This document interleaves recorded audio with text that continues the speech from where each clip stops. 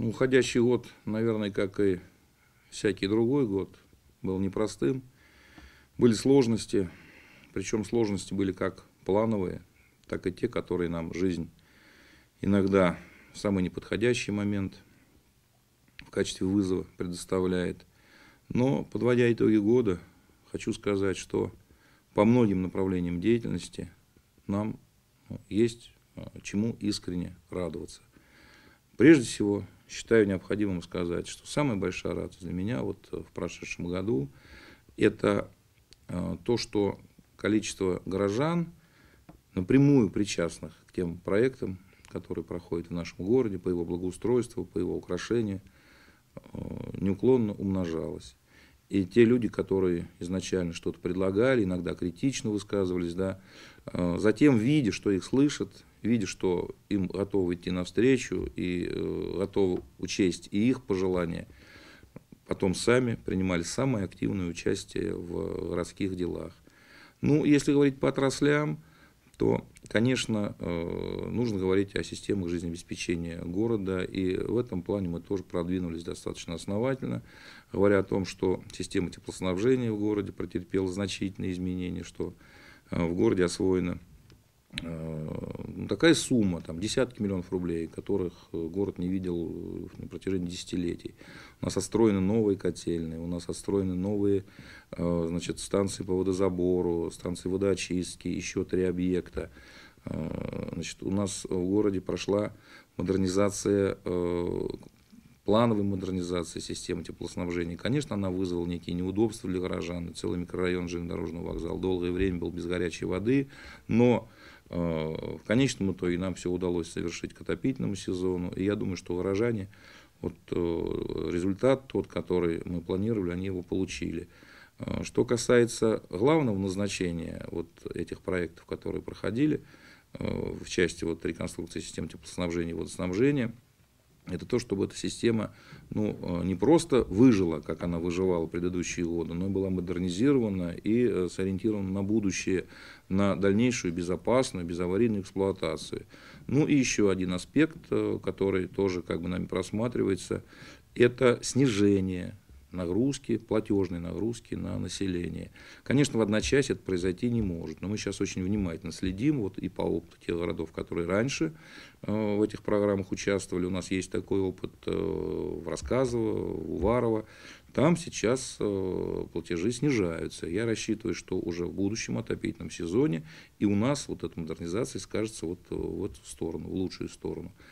Ну, если говорить о коммунальном хозяйстве также могу сказать, что не все удалось сделать. Э, на сегодня мы форсированным маршем решаем вопрос по передаче в концессию еще также объектов и водоотведения, потому что наш канализационный коллектор, наши очистные сооружения также не выдерживают никакой критики.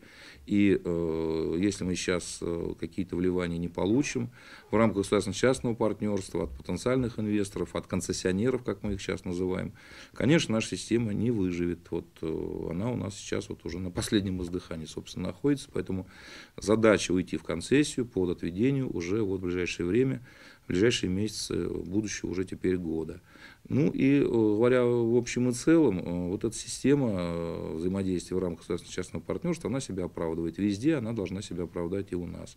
Потому что условия, в которых сейчас мы работаем, они не предполагают какой-то бюджетной дополнительной нагрузки вот, в оплату этих видов жизнедеятельности города. Поэтому нас должны выручить вот эти условия государственно-частного партнерства. Ну а почему бюджет э, достаточно напряженный, остается напряженным? Ну и э, к числу тоже минусов это можно отнести в прошедшем году.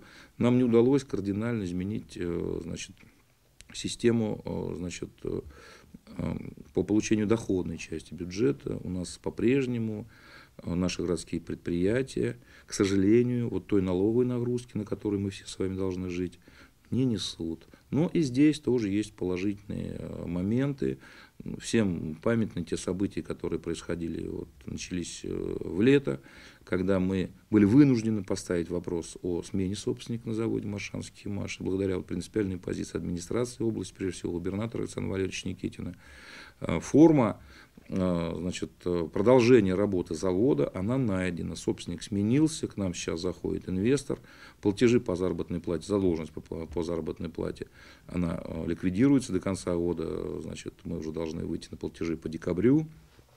Ну, я думаю, что это тоже та задача, которая стала перед нами масштабной. Многие не верили, что мы ее сможем э, решить эту задачу. Слава богу, с помощью областной администрации, руководства предприятий, я имею в виду исполнительных руководителей, не владельцев, а вот именно руководителей, там, прежде всего Валерий Валентинович Юханов и его команды, мы смогли это сделать. И в будущем Химаш теперь смотрит с оптимизмом. Заказы выполняются, и жизнь там э, оживает, скажем так, начинает оживать в заводе это знают и люди, и горожане, поэтому мы об этом говорим.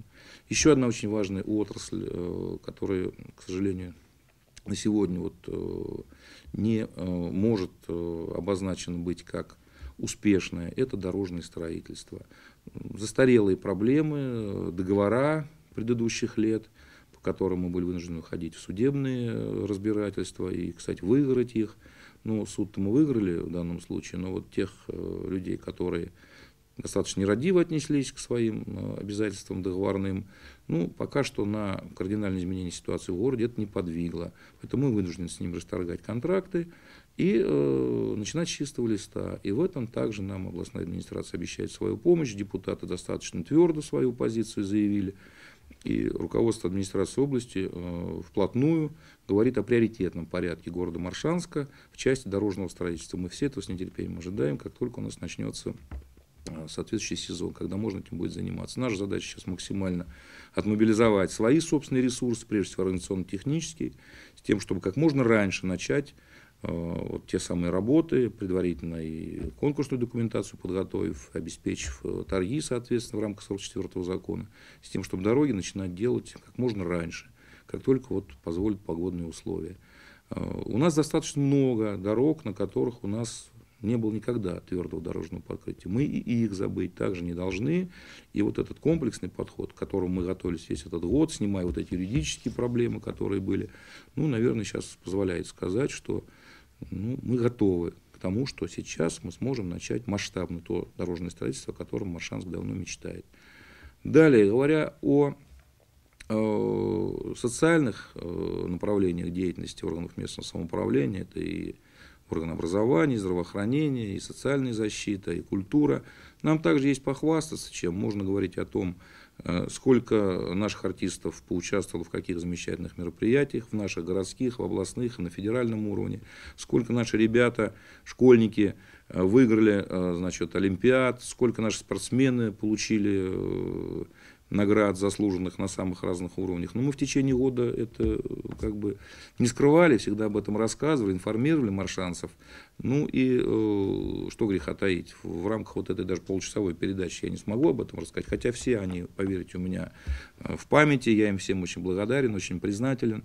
Ну и еще тут, э, может быть, открою маленький секрет, я знаю, что буквально на днях в преддверии новогодних праздников все наши отраслевики, все наши заслуженные люди, все те, кто работал на предприятиях, они э, проводят голубой огонек. Я знаю, что наш э, замечательный телеканал Новый век обеспечивает вот проведение этого новогоднего огонька. Все мы там будем, будем друг друга поздравлять, будем говорить о каких-то достижениях и э, значит, планах на будущее. Я думаю, что горожане об этом узнают более развернуто. Поэтому я сейчас вот на социальной сфере останавливаться отдельно не буду.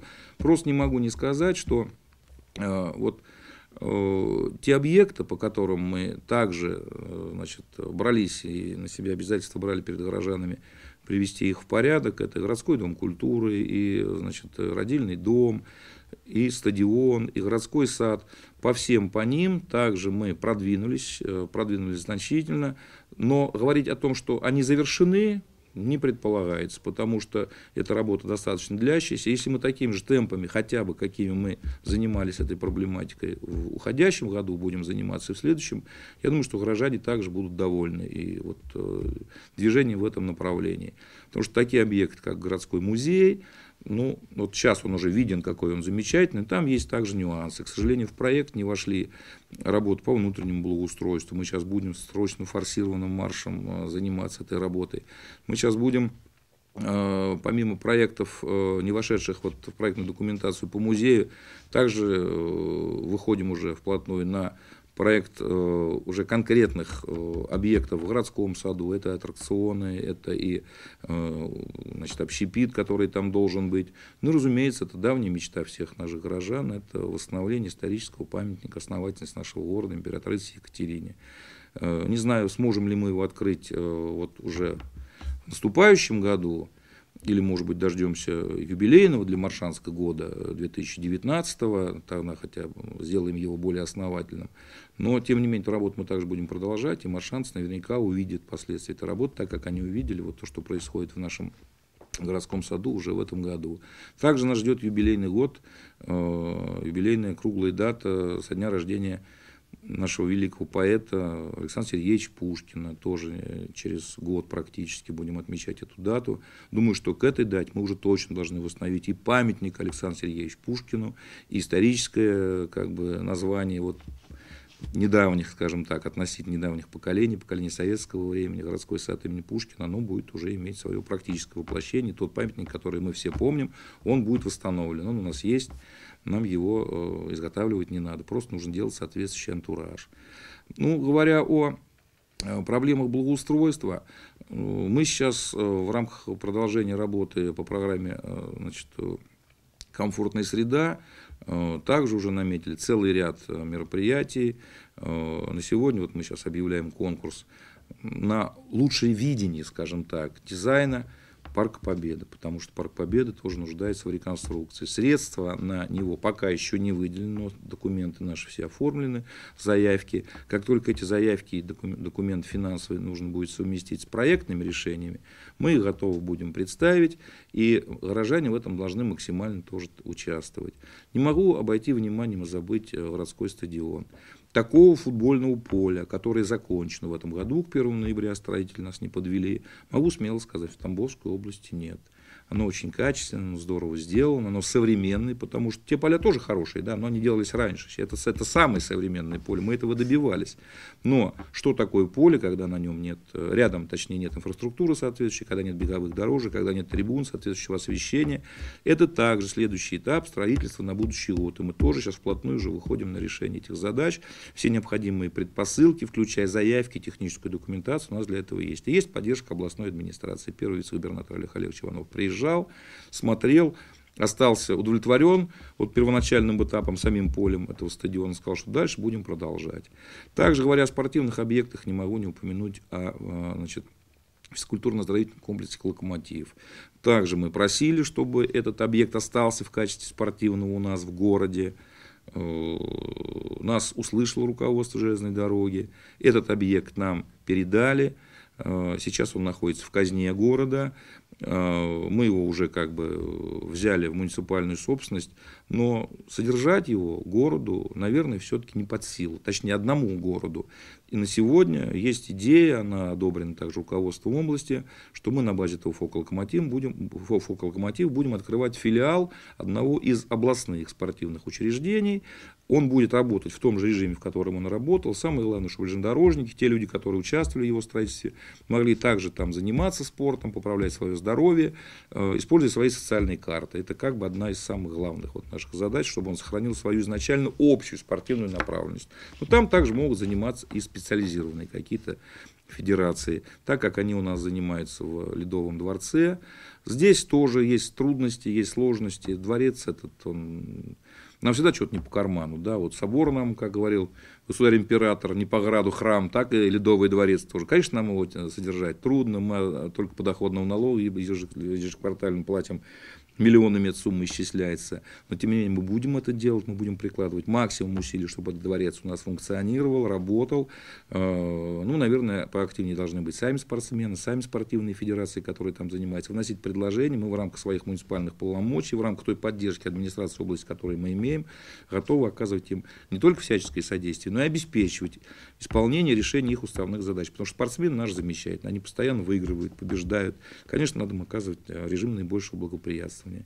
Говоря о микрорайоне железнодорожного вокзала. Но еще раз, пользуясь случаем, хочу сказать спасибо железнодорожникам. Они нас очень порадовали. Они в этом году сделали, подарили городу замечательный вокзал. Тоже много было скептиков, что вот, не сделаем, не получится, лимиты, бюджеты и прочее. Но когда люди слаженно берутся за свою работу, когда руководство дороги, руководство области принимают совместные решения, ну, а мы, э, руководство станции Маршанск, локомотивного депо, городская власть, депутаты горсовета, работаем в едином контексте, в едином ключе, и у нас это получается. Вот теперь у нас такой замечательный вокзал, слава богу, есть.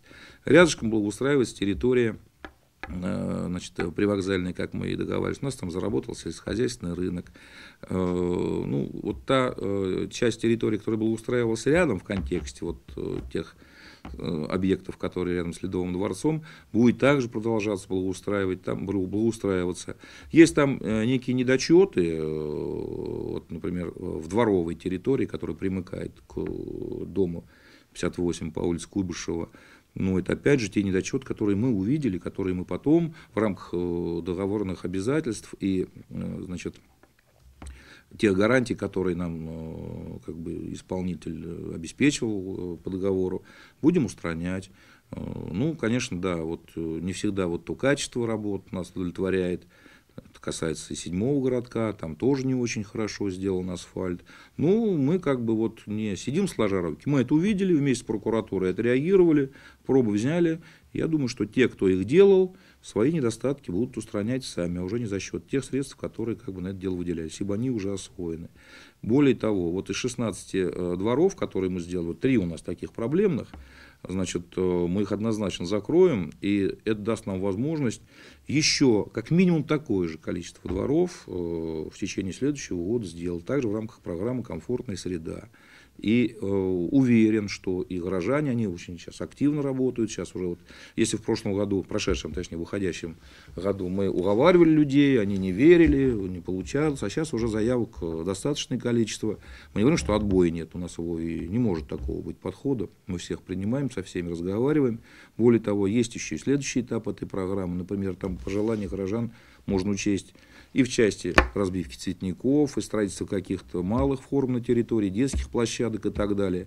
Есть возможность софинансирования, да, если сами горожане изъявят желание, и те формы значит, управления домами, формы территориального общественного самоуправления позволят, то вот э, совмещение финансовых потоков поможет ну, максимально отреагировать на пожелания горожан. И вообще, вот то количество программ, э, которые действуют на территории области, а, к слову сказать, вот все, что я перечислил, вот на эти цели из городского бюджета, достаточно напряженного, не было не затрачено ни рубля. Это все деньги, которые мы привлекли, это федеральные и региональные деньги в рамках. Просто надо вовремя реагировать, надо вовремя подавать заявки, готовить э, финансовую и техническую документацию и, ну, вплоть даже до конкурсной основы, выигрывать эти конкурсы на то, чтобы у нас, именно на нашей территории это было. Не так все просто, на это тоже нужно время и силы, не нужно как бы успевать это сделать вовремя. Не всегда, к сожалению, это удается, но мы вот сейчас вот этот ритм должный, нужный набираем. И вот совмещение ряда программ, которые действуют у нас, это программа «Единой России. Э, парки малых городов», это программа «Комфортная среда», тоже касаемая сквер, э, парковой зоны скверов. Это э, программа Э, значит, модернизацию уличного освещения. Вот э, в этом году нам особенно это удалось на территории городского сада имени Пушкина. Вот мы их совместили, все три программы, эффект очевиден, видно. К сожалению, не можем сейчас порадовать наших горожан, поставив там елку или какие-то малые формы, горки. К сожалению, извините, пожалуйста, маршанцы, нельзя этого сейчас сделать, потому что там стройка не закончена, нам никто этого сделать не позволит, и поэтому лучше не рисковать. Вот гулять там, прогуливаться, да, пожалуйста, можно, а какие-то мероприятия организовывать, ну, наверное, пока рановато. Давайте потерпим до будущего года. Ну и еще одна проблема, по которой нельзя, сказать, что мы ее как-то решили кардинально. Более того, мы тоже к ней только вот сейчас вплотную подступили.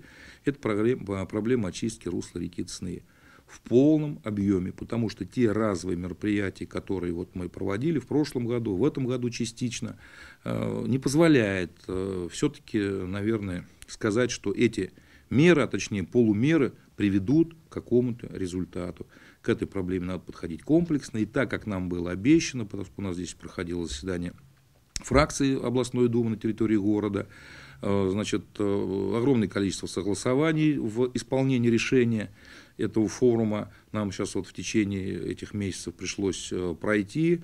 На сегодня тоже также мы заявки все свои подали. Как и в каких формах они будут иметь воплощение, мы узнаем по началу следующего финансового года. Но поверьте, горожане, этот вопрос находится на самом серьезном контроле. Еще раз повторюсь, полумерами здесь не обойтись. Нам нужно мост делать. И вместо одной задвижки, которая там работает, и она сейчас непонятно чья, и непонятно кому принадлежит, непонятно кто за нее отвечает, значит, должны работать все. Э, мост должен быть приведен в соответствии, потому что вот в этом году кстати, еще один пример вот такого взаимодействия с горожанами. Мы ни рубля даже на ямочный ремонт по этому мосту потратить не смогли, потому что мост находится в собственности, находился в собственности областной, сейчас он не в чьей собственности. В городскую его пока еще не передали, мы только подали заявку в Росреестр, чтобы его признали бесхозяйственным, только потом, бесхозяйным, только потом мы можем его получить в муниципальную собственность.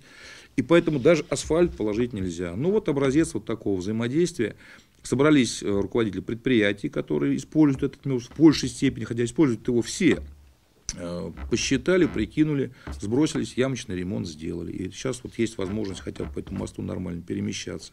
Вот э, именно это я с этого начал, этим, наверное, буду заканчивать, вот такой свой монолог, несколько затянувшийся, что горожане больше и больше начинают понимать, что мы Э, местное самоуправление, ну, наверное, прообраз некой такой вот большой семьи.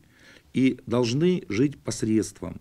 Если у нас есть возможность что-то сделать, да, мы это делаем и будем делать с вашим участием, с вашими э, подсказками, с указаниями.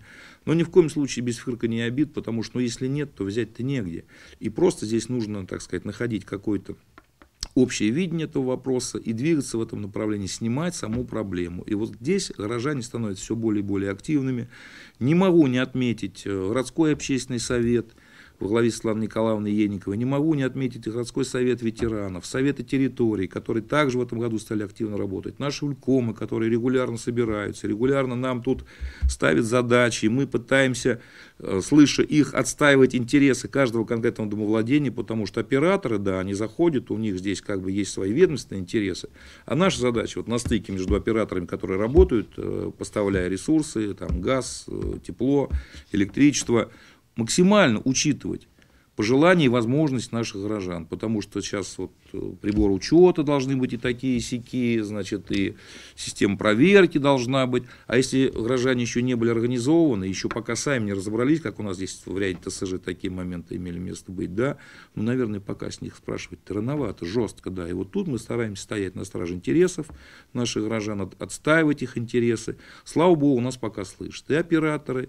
и надзорные органы, Пока мы находим вот такие компромиссные моменты, но опять же говорю, это промежуточный этап. Э, в следующем году все больше и больше наших домовладений должно приводиться в порядок, все больше и больше наших товарищей собственников жилья, ну, во-первых, их должно быть самих по себе больше, мы должны управляться этими домами, зная, что это наши дома, что мы за них в первую очередь отвечаем, вот, и они должны иметь всю необходимую, значит, юридическую значит, э, подготовку, они должны быть оформлены соответствующим образом, и те договора, которые они заключают, ни в коем случае не должны быть за счет наших горожан. Они должны иметь разумную значит, основу, основанную на тех тарифах, которые у нас есть и которые нам нельзя превышать. И на основе того, что мы федеральные хоть деньги, но вкладывали в систему модернизации, а значит нагрузка, финансовая нагрузка на плечи потребителя, то бишь населения наших маршанцев, должна становиться меньше. Еще один проблемный вопрос в этом году не закрыт. И объясню почему. Разумеется, я говорю о кинотеатре «Октябрь» и бывшем кинотеатре «Октябрь», благоустройстве, прилегающей к нему территории. Потому что планов было много, инвестор готов был там открыть и, э, значит, э, помимо торгового центра, и кинозал – Подкоп кинотеатра у нас прямо вот до недавнего времени практически в городе не было. Да, мы были вынуждены поэтому открыть э, значит, кинозал в кинотеатре, э, в городском доме культуры. Но, тем не менее, все равно вот эта идея, она остается. Но почему мы так долго с этим тянем, и многие горожане, может быть, справедливо нам э, нарекания как бы высказывают за это. Да, есть решение суда, да, мы можем сейчас махом, чохом все это взять и быстро очистить. Но там рядом торговые точки наших горожан а это объект, на котором трудятся люди, получают заработную плату, там есть какая-то экономика, у этих людей есть семьи, есть дети, мы же не можем их оставить. И даже когда они не всегда понимают, что до последнего там пытается свое, с этого, как у нас говорят, маршанске, выкружить, а, мы все равно это понимаем и все равно стараемся не принимать никаких кардинальных мер. Да, мы по суду пытаемся решать и в процессе этих судебных решений убеждать людей, что все равно не будет иного решения, просто надо их деятельность адаптировать, но уже к другим условиям. Мы с своей стороны мы готовы эти условия предложить. Вот поэтому по, такой, по такому пути мы весь этот год шли, и практически на 95% мы на сегодня эту ситуацию разрешили. Осталось там ну, 2-3 практических моментов в рамках уже существующих мировых соглашений с каждым из этих индивидуальных предприятий, предпринимателей точнее. И я думаю, что вот только вот в эту зиму мы закроем эту значит, э, юридическую коллизию. И с весны э, будет октябрь демонтирован собственником, и на его месте начнется стройка и, самое главное, благоустройство прилегающей территории в рамках тех пожеланий, и возможности, которые мы уже озвучивали нашим горожанам. Это и фонтан, и парк, и все остальное. Ну и э, совсем уж как бы завершая э, вот такой вот мой импровизированный отчет о том, что удалось, а что не удалось сделать, э, и говоря об этом именно в преломлении планов на будущее, э, я не могу не сказать о э, таких вещах, которые связаны э, с развитием как таковой транспортной инфраструктуры в городе. В этом году э, очень внятно и очень четко депутаты Горсовета поставили вопрос о необходимости строительства объездных дорог, по которым э, транзитный транспорт мог бы город э, объезжать. Ну, представляете, какая-то масштабная работа, да. Но вот был сбой у нас, да, вот стали делать мост по улице Ленина на перекрестке Сака-Вансете. У нас там на определенном этапе э, временном нагрузался, а, транспортный коллапс, во-первых, а во-вторых, мы с вами неоднократно этой проблемой занимались, горожане об этом знают, а во-вторых, мы поняли, что те люди, которые там э, проживают э, по соседству, вместо блага с этим ремонтом моста, они получили ну, такой дискомфорт и такие как бы последствия для своих там, для владений, для приусадебных участков, ну, которые нам, слава богу, вот вовремя, вмешавшись, удалось разрешить. Но это опять же такие меры промежуточные все-таки в известной степени. А снять проблему вот, в полном объеме, да, загруженности, загазованности нашего города, экологическую проблему можно снять только тогда, когда мы сделаем объездную дорогу. Тоже так же сейчас мы оформляем соответствующие заявки. Вот тут пока у нас еще техническая документация не готова. И может быть даже эта проблема не следующего года, а через год. Но мы также будем этим заниматься, будем готовиться к тому, что город надо транспорт разгружать. Ну и параллельно вот эта разгрузка, она позволит нам э, все-таки, наверное, что-то сделать и с железнодорожными переездами. Надо будет вот эту объездную дорогу планировать из расчета того, чтобы хотя бы один, э, ну, как их правильно называют, путепровод, да, переходил, и мы не за, через линию, и мы не зависели от переездов, потому что ну, такие пробки иногда у нас собираются. И в то же время движение по Куйбышевской железной дороги все-таки, ну, наверное, будет также продолжено и также будет развиваться, может быть, даже будет более интенсивным. Вот в рамках э, празднования 150-летия Машанского локомотивного депо руководители Куйбышевской железной дороги об этом говорили. И мы должны только приветствовать, потому что это развитие э, значит, нашей инфраструктуры железнодорожной, это рабочие места дополнительные и так далее. Но э, параллельно делать транспортный коллапс в городе, это как бы недопустимо. Поэтому будем вместе с железнодорожниками, вместе с надзорными органами добиваться того, чтобы при развитии вот этой вот ветки линии да, была предусмотрена объездная дорога, хотя бы один путепровод, или как его еще называют, акведук над э, железнодорожным полотном, чтобы нам можно было э, спокойно по городу перемещаться, независимо от расписания поездов.